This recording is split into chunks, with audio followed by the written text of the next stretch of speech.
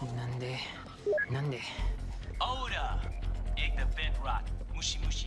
Hey, yo, Trip. I got Jake's in full effect. He been jacked, blood. Straight. Lost hitch.